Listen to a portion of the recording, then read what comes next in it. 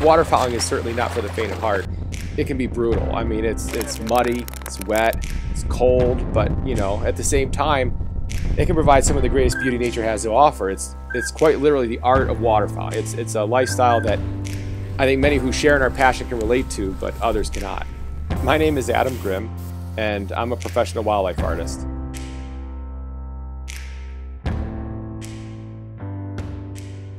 Through the years, I've been blessed to receive many different awards, um, but definitely the most prestigious of these has been winning the federal duck stamp contest twice. One could definitely say my life's passion is waterfowl.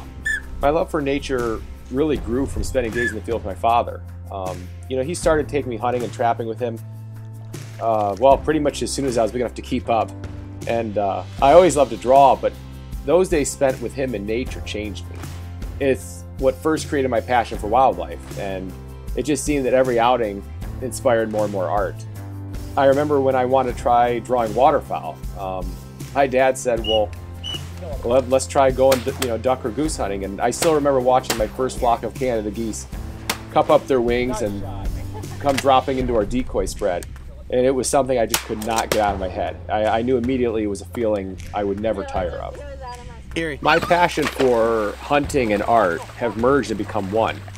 Um, waterfowling as a whole has really become a lifestyle for me. But I think being both a hunter and an artist makes me better at both. And I can take the knowledge I learned from one and apply it to the other merging my passion and my art career, I think gives me a unique perspective on waterfowl and uh, their environment. And I, you know, it's something I live and breathe every day of the year. The level of understanding I gain from everything, I think, makes Adam Grimm the hunter and Adam Grimm the painter kind of one and the same. Well, I think that just like planning a successful hunt, um, planning a successful painting requires a lot of preparation.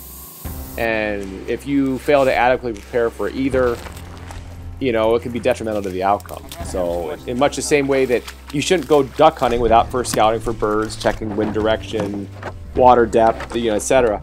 Uh, you shouldn't do a duck painting without first knowing the anatomy of the birds, um, correct habitat, or you know, making sure you have a good design. I think when most people look at waterfowl, um, they generally just see them as ducks or geese. You know, I think somehow I see them differently.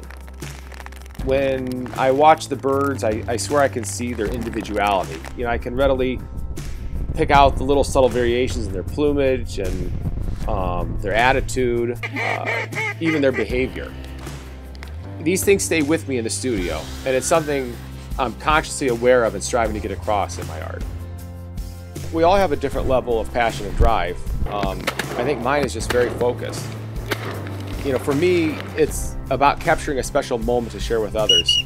Um, in the field, it could be a memory, uh, maybe with my dad or my kids, friends, yeah, dog, um, heck, even just myself. uh, it, in the studio, it's a bird locked in time by paint with glowing wings in the sun, iridescence radiating, or you know the way the water droplets beat across the vermiculation on the feathers. Um, the intense beauty of these birds, we as waterfowlers love. Uh, painted to the best of my ability. Um, you know, in the end, it's, it's my attempt at honoring the majesty of God's creations. Uh, the art of waterfowling has always been about more than just shooting birds, um, filling bag limits. It, you know, at the end of the day, it's the beauty of it all. It's, uh, it's the whole experience that makes me do what I do. It's those experiences that I spent, you know, out in nature and the memories created with people I care about. That was awesome. That was a good shot. You know, what I do or what I'm about um, is so much more than hunting, decoys, calls, uh, you know, even brush strokes on a canvas. I mean, it, it is the art of waterfowl. It encompasses, I think, everything I am, and it has become my way of life you know, I, I, I pray that even after I'm gone, the art I created based on the experiences I've had in my life will continue to touch people's hearts and minds and will inspire them to make their own outdoor memories. I'm Adam Grimm, and this is The Art of Waterfowling.